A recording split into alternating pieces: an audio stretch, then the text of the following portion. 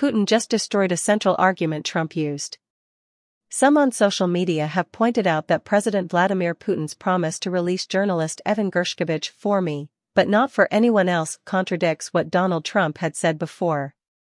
Nevertheless, Putin ultimately fulfilled this promise. The release of Gershkovich occurred on Thursday as part of a prisoner swap involving 24 inmates from several Western nations, including Russia, Belarus, the US, and others.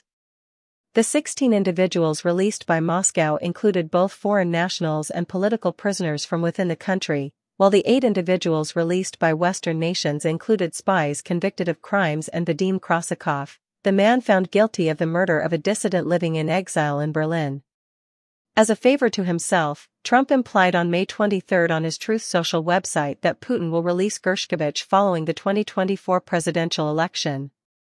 The Wall Street Journal reporter Evan Gershkovich, who is currently detained by Russia, will be released almost shortly after the election, but definitely before I become office, the Republican presidential candidate stated. With his loved ones by his side, he will be back home.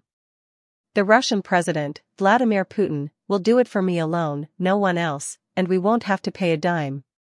Several political analysts addressed the release of Gershkovich in their tweets on X, previously Twitter, noting that it occurred contrary to Trump's claims on Truth Social.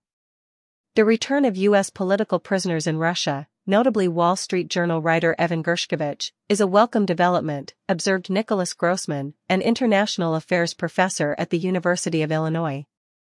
Would love to know what the US traded for. Was it the United States that paid the price, or did Russia's calculations shift? I can't help but notice that Trump insisted he was the only one capable of doing this. Looks like Putin has quickly lost faith that Trump will win in November, wrote David Frum, a writer and former speechwriter for President George W. Bush, who posted about the prisoner exchange.